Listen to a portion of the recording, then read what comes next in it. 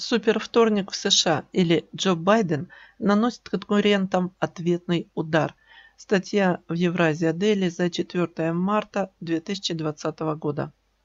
Итоги прошедшего 3 марта в США супервторника принесли ряд неожиданных результатов, прежде всего в лагере демократов, где важнейшую победу одержал кандидат от истеблишмента партии Джо Байден, в то время как сенатор Берни Сандерс, возможно, упустил свой моментум, а миллиардер Майкл Блумберг потерпел полное фиаско. Тем временем ничего интересного не происходило в стане республиканцев, где во всех 13 штатах буднично выиграл Дональд Трамп. Действующий президент США соперничал, по сути, сам с собой. Например, в Мэне и Миннесоте у него даже не было соперников. В Алабаме, Арканзасе, Вермонте, Массачусетсе, Оклахоме, Калифорнии, Колорадо, Северной Каролине, Техасе, Теннесси и Юте Трамп уверенно разобрался со своими оппонентами в лице бизнесмена Руки де Лафуэнте и губернатора Массачусетса Уильяма Уэлдома. Напомним, что супервторники являются во многом ключевым этапом предвыборной гонки США, так как именно в эти дни выбирается больше, выбирается больше делегатов на партийные съезды, чем в любой другой день избирательной кампании – 3 марта на карту были поставлены голоса 1344 демократических избирателей из 14 штатов и территории американского Самоа, или 34% от 3979 объявленных делегатов, имеющих право голоса на Демократической конвенции. Всего в 2020 году кандидату-демократу для получения номинации от партии требуются голоса 1991 делегата, которые проголосуют в июле в Милуоке. Наиболее лакомыми кусочками супервторника выглядели Калифорния – 415 делегатов, Техас – 228, Северная Каролина – 110 и Вирджиния – 99, тогда как американская Самоа выбирала только 6 делегатов. Байден снова на коне. Уже можно с уверенностью констатировать, что Джо Байден выиграл Вирджинию, Северную Каролину, Алабаму, Теннесси, Техас, Оклахому, Арканзас, Миннесоту и Массачусетс. Берни Сандерс довольствовался, довольствовался родным Вермонтом, Колорадо, Ютой и с большей долей вероятности Калифорнией. На момент написания материала в этом штате были подсчитаны 41% голосов.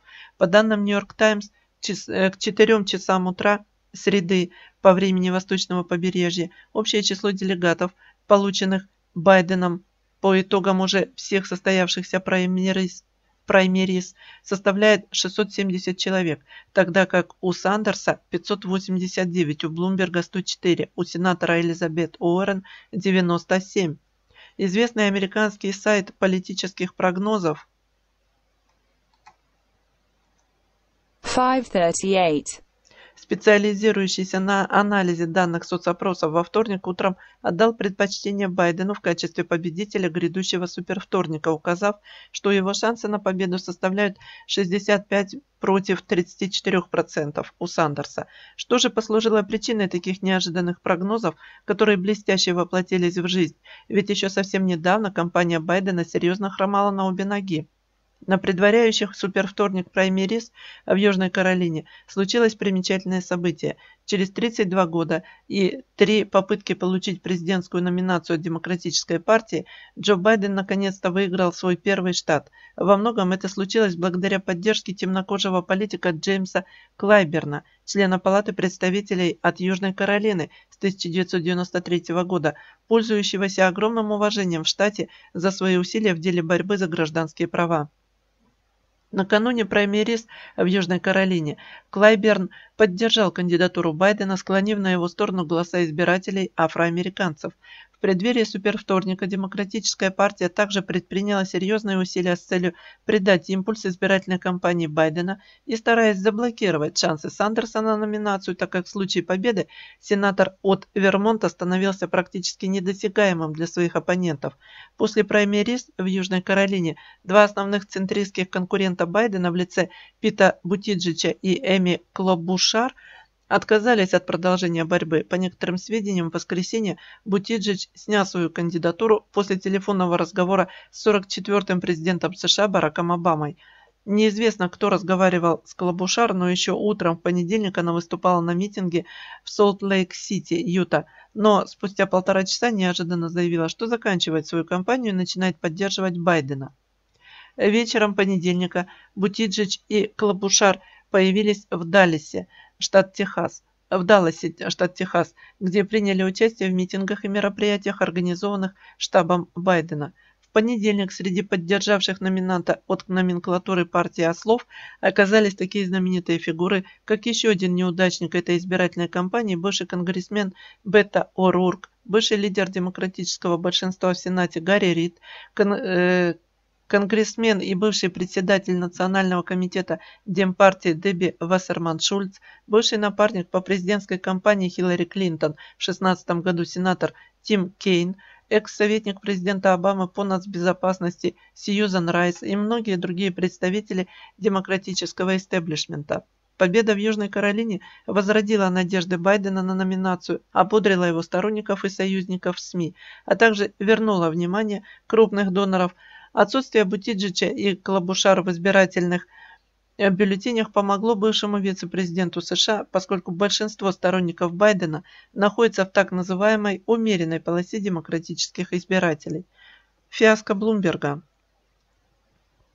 Штат Байдена смог справиться, э, извините, штабы Байдена смог справиться и с еще одной проблемой – кандидатурой бывшего мэра Нью-Йорка, миллиардера Майка Блумберга. Единственная причина, по которой Блумберг вступил в гонку и начал распылять в огромных количествах свои деньги, впрочем, он может так делать еще тысячу лет и вряд ли заметно обеднеет, заключалась в том, что компания Байдена оказалась на грани краха. Истеблишмент демократов начал активно разыгрывать с Блумбергом, всячески преуменьшая его недостатки, обвинения в сексизме и расизме, неправильно прочитала. Истеблишмент демократов начал активно заигрывать с Блумбергом всячески преуменьшая его недостатки, обвинения в сексизме и расизме и закрывая глаза на провал в первых дебатах, в которых он принял участие с расчетом заменить им Байдена, если компания того окончательно свалится под откос. Финансовый Франкенштейн, которым является компания Блумберга, вышел из лаборатории Демпартии и впервые встретился в супервторник с избирателями, однако потерпел оглушительное поражение, взяв утешительный приз в американском Самоа. Трамп, уже не раз обменявшийся с Блумбергом нелицеприятными выпадами, не применул отметить неудачу олигарха, назвав его самым большим лузером с большим отрывом. У миллиардеров свои разборки. Борьба за демократическую номинацию продолжается. Самой большой проблемой Байдена на протяжении всей избирательной кампании являлся он сам в сочетании со слишком широким полем центристских кандидатов. Сузив его и одержав последовательные победы в Южной Каролине и в супервторник, Байден находится в лучшей форме, чем кто-либо ожидал еще месяц назад. Однако его имиджевые проблемы никуда не делись. Вот и на этот раз, выступая поздним вечером вторника на победном митинге своих сторонников, Байден взял за руку свою жену Джилл, и назвал ее своей младшей сестрой Валери, а затем отрекомендовал себя в качестве мужа Джил, взяв за руку стоявшую рядом оригинальную Валери – трансляции было заметно, в каком замешательстве в этот момент оказались обе женщины. Впереди Байдена ждет затяжной бой с Сандерсом, когда в течение следующих двух недель будут голосовать избиратели в целом ряде штатов. 77-летнему Байдену, уже не раз опростоволосившемуся в своих публичных выступлениях во время предвыборной гонки, будет непросто на фоне 78-летнего, но бодрого и неутомимого Сандерса. В случае победы Байдена встретит находящийся в прекрасной форме Трамп, с наслаждением наблюдающий за баталиями в стане демократов. Это не Белый дом, а дом престарелых. Проблемы мятежного сенатора – Неукротимый демократический социалист Сандерс, которого, как мы знаем, мейнстримовые американские СМИ уже обвинили в том, что ему помогает рука Москвы, явно не собирается сдаваться без борьбы. Накануне супервторника штаб Сандерса организовал серию энергичных митингов по всей стране, от Массачусетса на восточном побережье до Калифорнии на западном. Также была опубликована информация о рекордных сборах пожертвований в феврале на кампанию сенатора. 2,2 миллиона человек собрали 46,5 миллионов, больше, чем в, любом другой, э, в любой другой месяц. Ключевая проблема Сандерса в том, что после победы в Неваде он отказался принять позицию великодушного лидера-победителя. Сандерс продолжал проводить кампанию в качестве мятежника и изображать своих демократических конкурентов, почти все из которых довольно популярны среди первичных избирателей демократов, а в роли недобросовестных инструментов корпоративной власти. Этот подход, очевидно, был обусловлен агрессивностью его противников и более широких сил истеблишмента Демпартии. Такая позиция Сандерса вполне понятна, но нет ощущения, что она стратегически выверена. Внутрипартийные противники сенатора хотели изобразить его политиком, абсолютно неспособным объединить партию, и это им во многом удалось. Они сделали это краеугольным камнем в своих негативных посыл посылах, тогда как кон контратаки Сандерса на демократический истеблишмент только подтверждали их обвинения. Сенатор Сандерс до сих пор не доказал свою способность стремительно объединить демократический электорат, и это не может не тревожить его сторонников. Тем более, что, судя по опросам, большинство избирателей демократов волнует победа над вселенским злом Дональдом Трампом, а не победа в междоусобной войне. Супервторник был моментом, когда Берни Сандерсу нужно было сделать то, что сделал Трамп в 2016 году – доминировать настолько основательно, чтобы у партийного истеблишмента не осталось иного выбора, кроме как следовать за ним. Но в супервторник этого не произошло. Джо Байден добился критически важных побед на юге, Среднем Западе и Востоке. Сандерс снова начинает выглядеть слишком радикальным кандидатом в глазах демократического избирателя, сделавшего поворот в сторону Байдена, все более и более похожего на обнадеживающую альтернативу альтернативу сумасшедшему Берни. Артем Филиппов. Супервторник в США или Джо Байден наносит конкурентам ответный удар.